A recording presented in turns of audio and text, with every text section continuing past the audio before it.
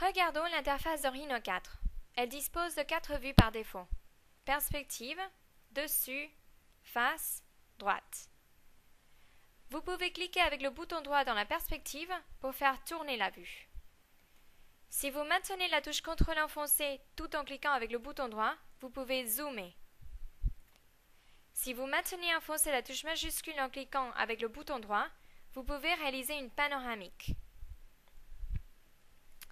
Il est possible d'agrandir une vue en double-cliquant sur le titre de celle-ci.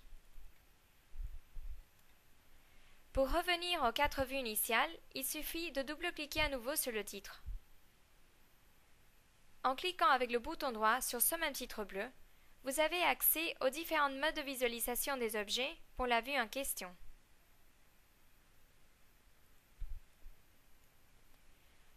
Trois barres d'outils sont ouverts par défaut.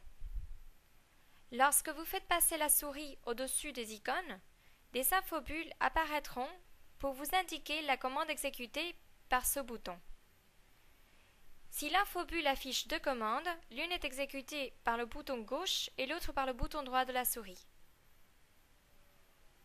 Les menus déroulants constituent une autre manière d'accéder aux commandes. La ligne de commande vous permet de taper les commandes directement. À fur et à mesure que vous écrivez, Rhino vous affiche une liste des commandes qui commence par les lettres tapées, jusqu'à que vous trouviez la commande souhaitée.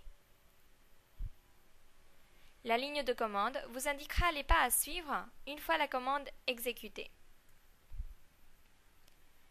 Dans la partie inférieure de l'écran, vous pouvez voir les cases des accrochages aux objets.